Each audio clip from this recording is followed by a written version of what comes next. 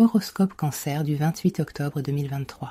Bonjour, voici l'horoscope du jour. Horoscope Amour. Célibataire, vous serez tenté de vous lancer à l'assaut des forteresses inaccessibles que convoite ardemment votre cœur. Vous aurez beaucoup d'ambition et cela vous empêchera d'être réaliste et conscient de vos limites. Gare aux déceptions. Si vous êtes marié ou déjà lié, vous aurez droit à une vie de couple harmonieuse qui manquera peut-être d'un peu de peps, mais qui vous apportera bien des satisfactions. Horoscope Argent, climat astral assez ambigu concernant vos finances, mais dont vous devriez, avec quelques précautions, pouvoir tirer un grand profit. Il vous promet une amélioration de vos revenus ou un accroissement de vos investissements. Mais attention à Neptune mal aspecté. Sous son influence, il sera possible que vous manquiez de lucidité ou que des contretemps viennent gêner vos projets financiers. Montrez-vous un peu plus vigilant. Horoscope santé. Vous serez un peu plus tendu que dernièrement. Ah, rien de grave.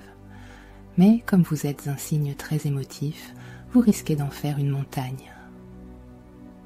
Vous aurez tendance, pour compenser vos étals d'âme, à vous jeter sur le chocolat, les plats en sauce ou la boisson ce qui n'arrangerait ni votre tour de taille, ni votre foi. Horoscope Travail. Le climat astral de ce jour donnera un grand pouvoir imaginatif à tous ceux qui vivent de leur plume ou pratiquent un métier d'investigation. Perspicacité et bon jugement se joindront au développement de vos facultés paranormales. Travail très satisfaisant pour les autres natifs du signe. Horoscope famille. Jupiter, astre bénéfique, va protéger vos relations avec vos proches, notamment avec vos parents. Il promet aussi une ambiance très gaie sous votre toit. Attention simplement à cet aspect de Pluton.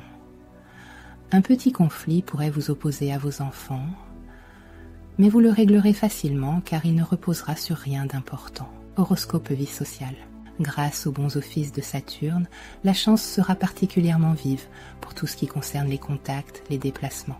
Il est donc à conseiller de s'adresser en priorité à des personnes nouvelles ou haut placées qui seront plus attentives qu'à l'habitude et qui réagiront favorablement au bon esprit des natifs, à leur mélange de dynamisme et d'optimisme